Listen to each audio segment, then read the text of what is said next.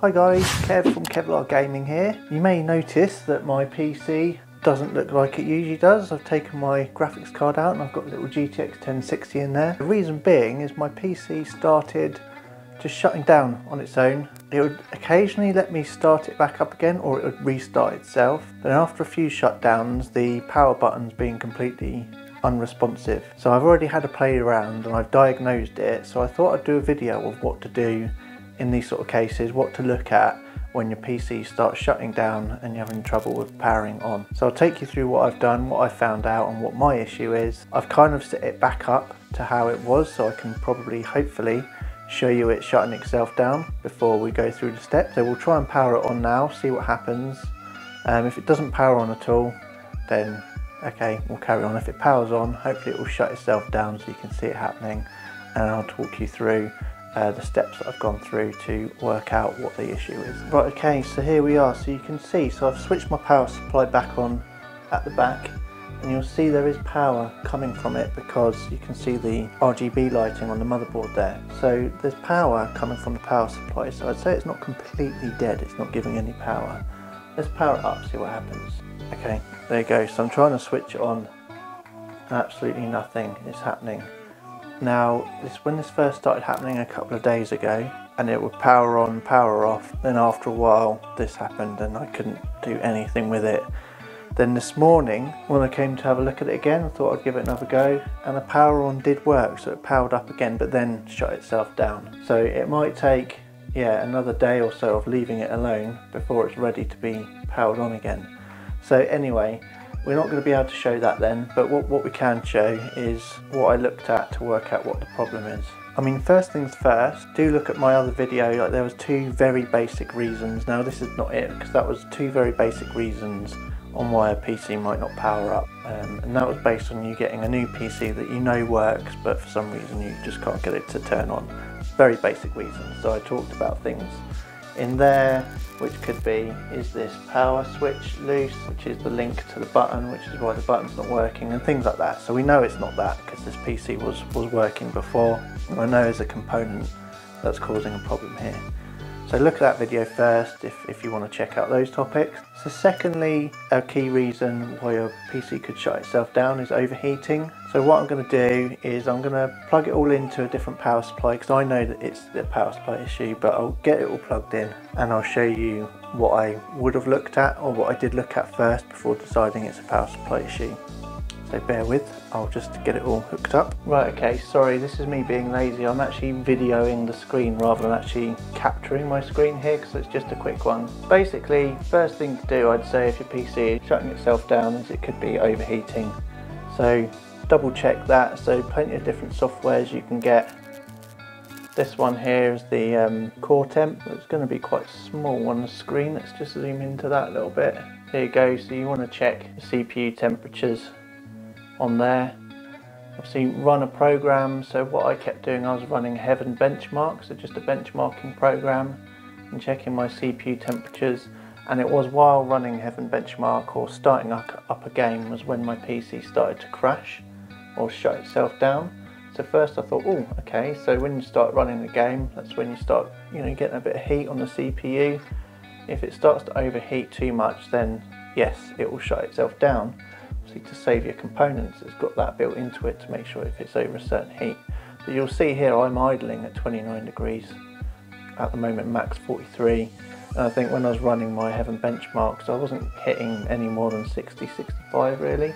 So it's definitely not my cooling and it shouldn't be anyway because I've only recently really not too long ago upgraded to um, some water cooling. Yeah it's been fine since I've put that in. Okay so really that that was just a quick one to show you check check your temperatures. Lots of different other softwares to check your temperatures. You can use the overlay softwares like MSI Afterburner so you can get that on your screen while you're actually playing the game or something. So for me I was confident it's not my temperatures. Because I was confident it wasn't my temperatures I couldn't really think what else it was other than being power supply related. So first thing I checked was these. So I've been using extension cables from my power supply cables to my components you know so I've got nice looking white cables in the case rather than the black ones from the power supply So I thought I'd check those first because these obviously aren't as good as using your direct from your power supply cables. So I swapped all of these out and plugged the power supply directly into my components without using those. No change there. But just a note that in the past that has been an issue that I found before. When I did some upgrades to my PC, something must have gone wrong with my motherboard extension cable because it wasn't working, wasn't powering up. I swapped out my motherboard extension cable and plugged it directly in and then it was fine. So that's why I thought, let's check those first. But no, no issue there. So really for me then, I'm adamant it's just an actual issue of the power supply. Even though it's drawing power, there's something wrong. Now, obviously you can check, is your power supply strong enough for your components? There's various websites you can look at. Let's just have a quick look at one now. So basically if you just Google power supply calculator, there's, there's loads you can pick. I think I just picked this one, the OuterVision. So you fill in all of your components, everything you've got in here, run calculate, and it will tell you what power supply wattage you need. Now in general, when you buy a graphics card, it will tell you the recommended power supply for that, and that recommendation actually takes into account an assumed power supply need of the rest of your system, so it's not just the graphics card it tells you. So in general, you're usually quite good with that. So I have got an 850 watt power supply. When I count, did the calculation on here, it came up with like 660 and the graphics card manufacturer recommendation was 850. So I'm pretty confident my power supply is powerful enough. Now to be honest I don't really know what would happen if it wasn't powerful enough. Now obviously I've been running this system since June with that power supply and it's now November and I've had no problems up until then. Like I said recently I have swapped out my my cooling so I've changed my cooling from a, a tower cooler on my CPU to my AIO. Now I don't think that's going to be a huge jump in power consumption um, and I've also adjusted some of my fan connections so I did have the standard fan hub that came with this PC and then a separate RGB hub for some of the fans. I've swapped that out for a Commander core from Corsair so I've now got two Commander cores because one comes with the AIO and then I got another one so I could fit the rest of the fans on it. Again I'm pretty sure that would have made a lot of difference in power consumption and I've put it all through this calculator anyway and um, yeah, still comes up with only 660 odd watts. So I think I'm good for that. So I don't think I've tried to use an underpowered power supply for my system. I don't even know what would happen if you do, to be honest. I don't know whether this is the sort of thing that happens where it just cuts out. But what I did to test that, okay, is I'm lucky enough to have a few other graphics cards lying around, so older graphics cards. So I've got a GTX 1060 there so I've plugged this GTX 1060 in and swapped out my RTX 3080. So there we go, so we know 100% certain that my 850 watt power supply is going to be more than enough to run this system with a GTX 1060 in it. So that was a test I could do to make sure that I'm not actually trying to power my PC with a power supply that's not strong enough. Did the test in that, plugged it in, had the same issues, it was shutting down and then won't turn on. So there we go, so we're very confident that it's not actually a power issue is in under wattage. So that's why I've got the GTX 1060 in there, that's why I've swapped that out. What I've now done is I've got a 600 watt power supply here